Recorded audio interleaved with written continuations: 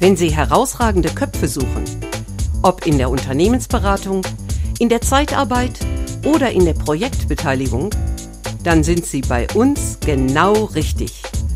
ABC Unternehmensgruppe. Die De Rose Stiftung feiert heute ihr zehnjähriges Jubiläum. Dazu jetzt bei mir der gesamte Vorstand der Le Rose Stiftung. Salvatore, wenn ich mit dir anfangen kann, wie bist du auf die Idee gekommen, eine Stiftung zu gründen? Das ist alles angefangen mit einer Rückreise von Sri Lanka und äh, das hat mich ein bisschen mitgenommen, die ganze Sache. Und ich wollte was Gutes machen und habe ich angefangen in meiner Stadt, wo ich lebe, was zu machen.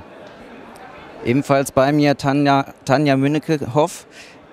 Wie äh, siehst du die letzten zehn Jahre, wenn du einmal zurückschaust? Was konnte die Stiftung alles bewegen und was waren vielleicht so deine Highlights in den letzten zehn Jahren? Wir haben mit über ja, 220.000 Euro es ermöglicht, ganz, ganz vielen Kindern ein Lächeln zu schenken. Und das ist eigentlich das Highlight der Lorose Stiftung, Kindern ein Lächeln zu schenken und Gutes für sie zu tun, denen es nicht so gut geht. Gab es da ein Projekt, was du besonders hervorheben würdest aus den letzten zehn Jahren? Ganz ehrlich, nein. Also alle Projekte sind besonders hervorzuheben und in allen Projekten können wir Kindern Gutes geben. Und das ist eigentlich das Highlight, immer wieder zu sehen. Eine ehrliche Antwort der Kinder, indem man in ihre Augen schaut und sieht, man hat ihnen eine Freude bereiten können. Und das ist das Besondere und das Highlight. Gibt es jetzt fürs kommende Jahr noch weitere Projekte, die aktuell geplant sind?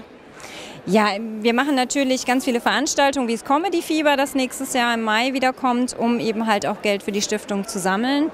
Und welche Institutionen wir unterstützen, ist immer davon abhängig, welche Anträge kommen zu uns. Da gibt es immer wieder ganz verschiedene und das ändert sich ja jeden Tag. Wer stellt einen Antrag und dann können wir das unterstützen.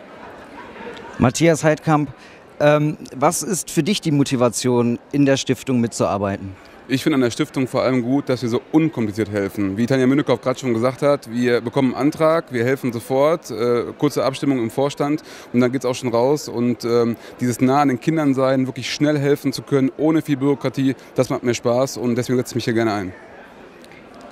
Also die Le Rose Stiftung feiert heute ihr zehnjähriges Jubiläum und äh, wir wünschen weiterhin alles Gute und hoffen, dass auch in den nächsten Jahren ihr helfen könnt für die Kinder, die es benötigen.